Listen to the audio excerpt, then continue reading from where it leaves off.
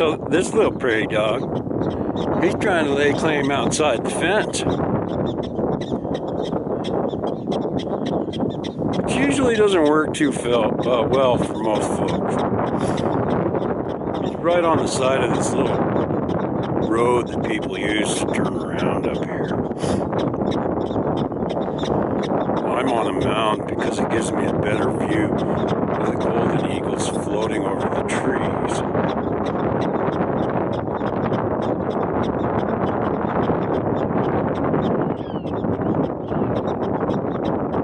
Such as the life of a prairie dog.